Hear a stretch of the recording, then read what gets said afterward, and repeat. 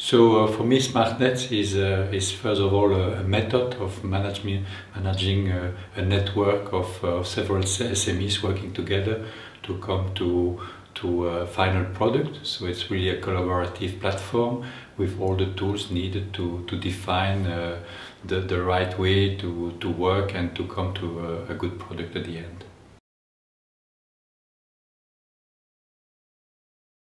Okay, we, we are used to, to, to develop a lot of uh, new product and, and in the framework of project and in this uh, this framework we have learned really with uh, to use new management tools, to use checklists to be sure that we don't forget any step, important step in the development of a product.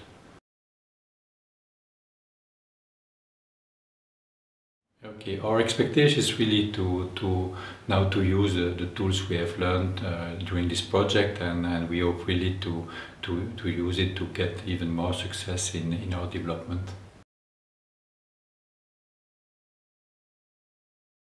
Okay, the culture of a, of a company is really open innovation. That means that we're working a lot with uh, several partners. Also, our company is spread over three locations in R&D Portugal, UK and Belgium and we really need a tool to, to put all the information to work together. So uh, the next step for us is to use Tricia as a base platform for all our development and the, the following of the, the new product development.